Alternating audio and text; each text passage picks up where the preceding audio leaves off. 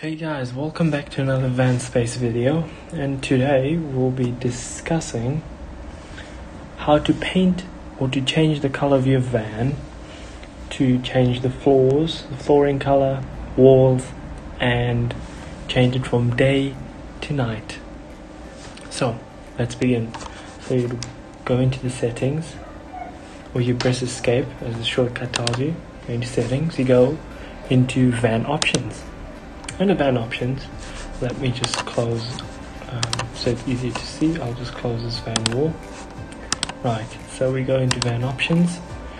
Then under paint color you can select it to be any color you would like um, so we go for yellow for example.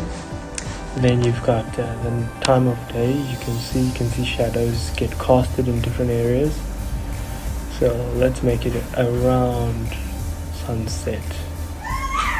There we go. Then you have um, more options. You just need to close out this um, close the wall so you can view inside. Return to the van switch off the walls. Right now you can see that's the the walls there's a ceiling over there. So we go into van options. Our flooring we go into doesn't it's up to you just go into wood. As you can see the flooring changed.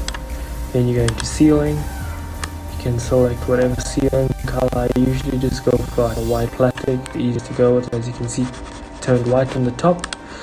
Then you've got your wall and your wall you can select and there you have it. That's how you change your wall color too there you have it guys and if you want to grab a copy of Vanspace, it's down in the link below. Alright, I hope you enjoyed this video. Catch you later.